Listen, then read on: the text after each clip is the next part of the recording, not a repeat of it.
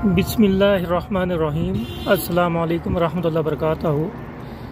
जी, आज हम आपको जन्नतुलमल्ला कब्रस्तान की ज़ियारत करवा रहे हैं। ये मक्का मुकरमा अलगज़ा वाली साइड में मौजूद है। ये बहुत पुराना कब्रस्तान है। इसमें बहुत सारे सहाबा कराम भी दफन हैं।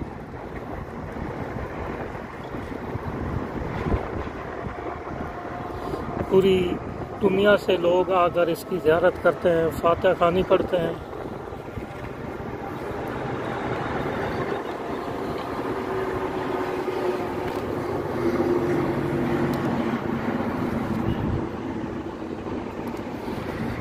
ये कब्रस्तान रोड की दोनों तरफ़ मौजूद है।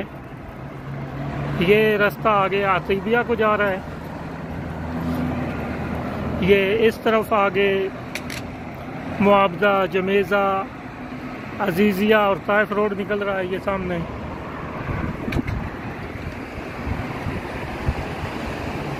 ये नीचे सामने अलगज़ा वाली साइड है, हरम की तरफ़ जा रहा है रोड।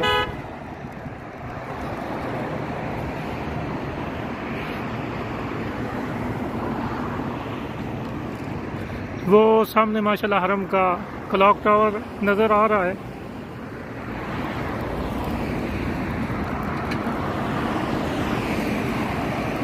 ये रोड की दूसरी तरफ़ भी कब्रस्तान का हिस्सा है जन्नतुलमौला का अभी हम उसकी भी ज़्यारत करवाते हैं।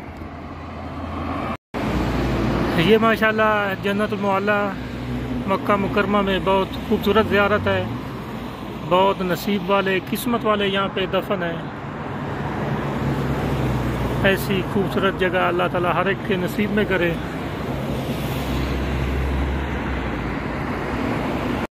ये माशाल्लाह जन्नत अलमल्ला के साथ बहुत प्यारे, खूबसूरत दरख्त हैं। माशाल्लाह, बहुत प्यारी ज़ियारत है, माशाल्लाह।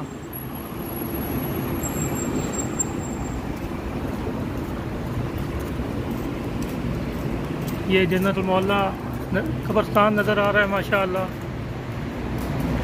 बहुत प्यारे, खूबसूरत दरख्त और प्यारी जगह है, माशाल्लाह।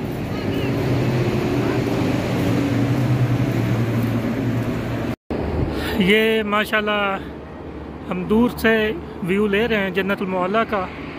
ये जो बाढ़ नज़र आ रही है जन्नतुलमौला कब्रस्तान की है।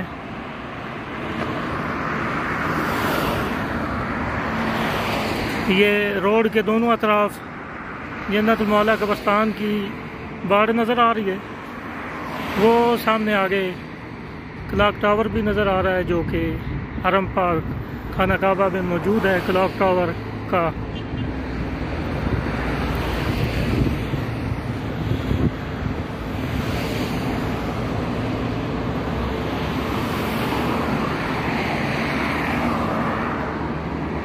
आज ये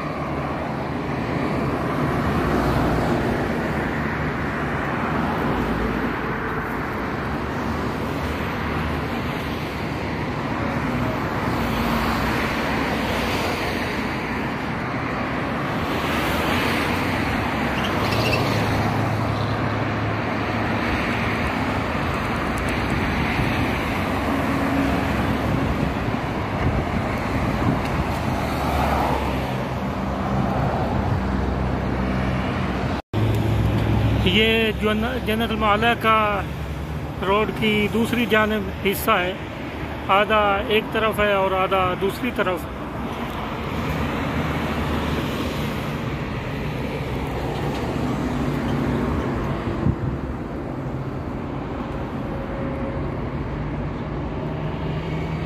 माशाल्लाह, बहुत नसीब वाले यहाँ दफन होते हैं। बहुत किस्मत वाले यहाँ दफन होते हैं।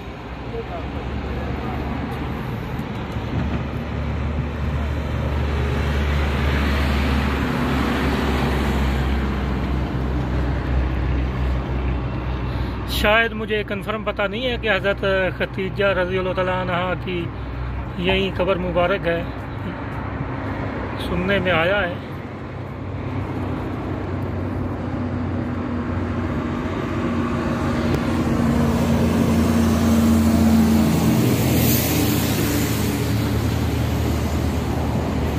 वो सामने जो जाली नज़र आ रही है, आधा हिस्सा उधर है जन्नतमल्ला का।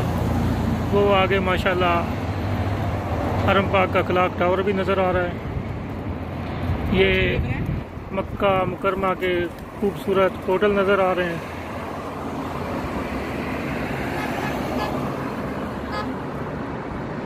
ये आतिबिया को रोड जा रहा है।